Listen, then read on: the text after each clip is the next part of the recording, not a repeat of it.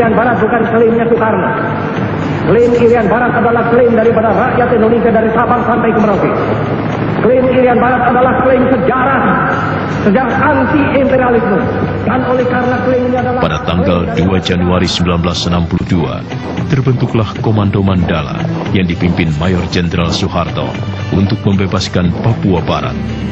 Akibatnya, pertempuran antara Indonesia dan Belanda kembali meletus.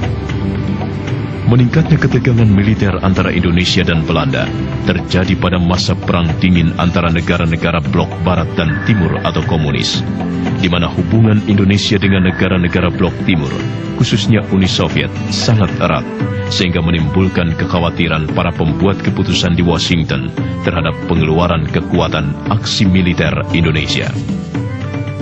Maka pada tanggal 21 Februari 1962, Presiden Soekarno bertemu dengan John F. Kennedy, Presiden Amerika Serikat yang baru terpilih, untuk menyelesaikan masalah Papua. Atas tekanan Amerika Serikat, pada tanggal 15 Agustus 1962, pemerintah Belanda akhirnya bersedia menandatangani persetujuan dengan Indonesia mengenai penyerahan kedaulatan Papua Barat kepada pemerintah Indonesia. Persetujuan ini disebut dengan New York Agreement. Namun, isi New York Agreement yang antara lain termasuk penentuan nasib sendiri bangsa Papua untuk memilih apakah mereka ingin tetap bergabung dengan Indonesia atau tidak, tidak pernah dipersoalkan.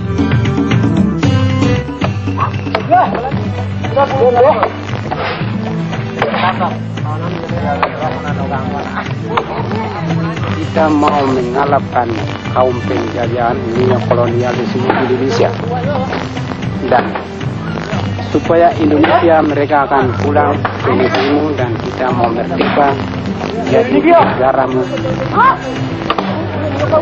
nama negara West Papua.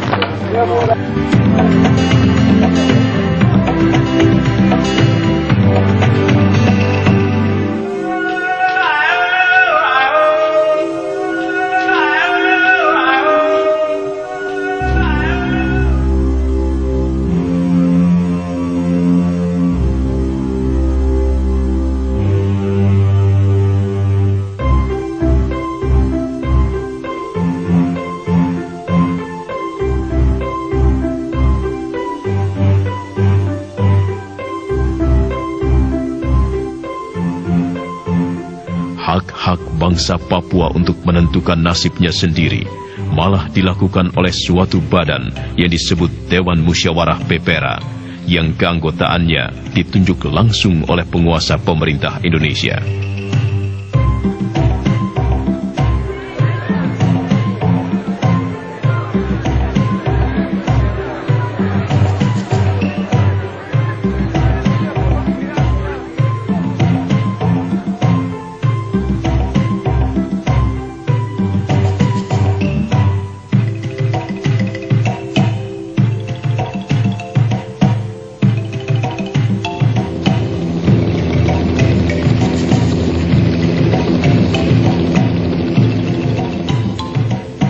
Pada bulan Agustus 1968, suatu tim PBB kembali ke tanah Papua yang telah diberi nama Irian Barat untuk membantu memberi pendapat dan terlibat dalam kegiatan penentuan nasib sendiri rakyat Papua.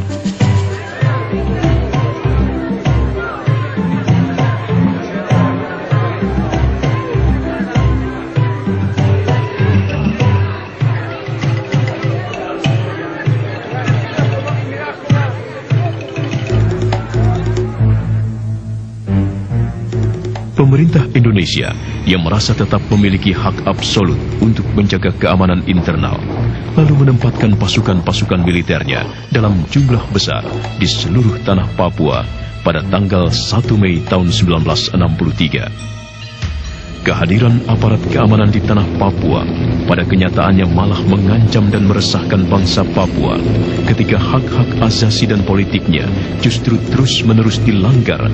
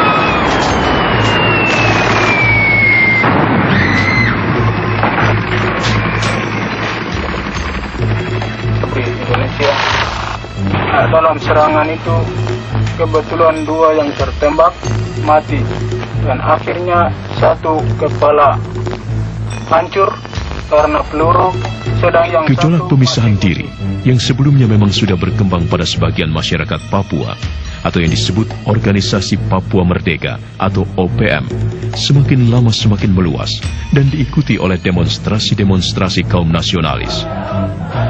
Pergerakan organisasi Papua Merdeka dimulai pada tanggal 26 Juli 1965 di Manokwari yang dipimpin oleh Sersan Mayor Permenas Ferry Awom, seorang mantan anggota Batalion Sukarelawan Papua. yang ingin eh, mungkin mewujudkan suatu negara baru Melanesia Barat atau organisasi Papua Merdeka yang sebetulnya suatu mimpi yang tidak mungkin terjadi, tidak mungkin terwujud di wilayah Republik Indonesia yang sudah menjadi satu ini. Bapak masuk di hutan ikut perjuangan.